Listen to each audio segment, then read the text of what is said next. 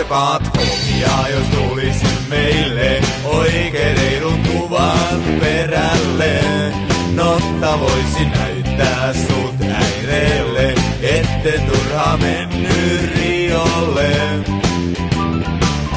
Törpittäis oikein isut kaffeet, säkin tällaisit ylle pyhä vaatteet.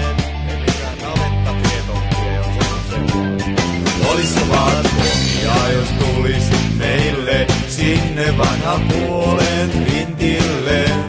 Silloin veisin sut oikein kokille, poikamiehen kotiin pesälle.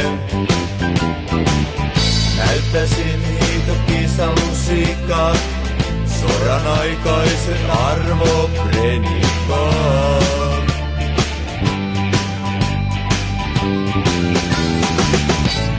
Voitais olla vintti kamarissa, vähän pirempää.